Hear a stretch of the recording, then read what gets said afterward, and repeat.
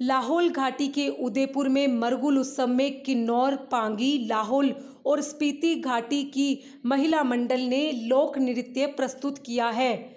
केलांग से रंजीत लाहौली की रिपोर्ट।